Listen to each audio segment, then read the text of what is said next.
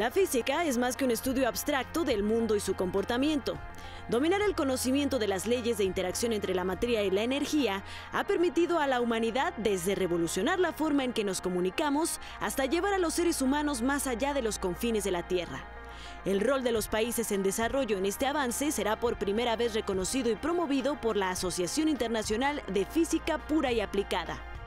El primer galardonado, el físico teórico mexicano Jorge Flores Valdés.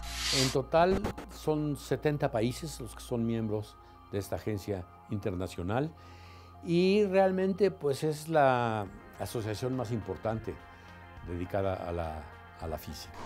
¿Y qué es la medalla UPAP?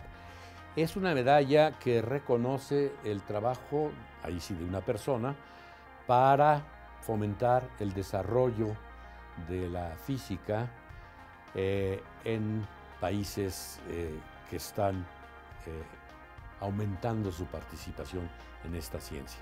Y uno de ellos es el caso de, de México. Y a mí me ha tocado el honor de recibir la primera medalla con 50 años de carrera, investigador emérito del Instituto de Física de la Universidad Nacional Autónoma de México, coautor de uno de los artículos más citados de la ciencia mexicana y artífice del Museo Interactivo de Ciencia Universum, que ha inspirado miles de carreras científicas en 25 años, el doctor Flores inaugura una distinción que pondrá los ojos de la ciencia en nuevos actores.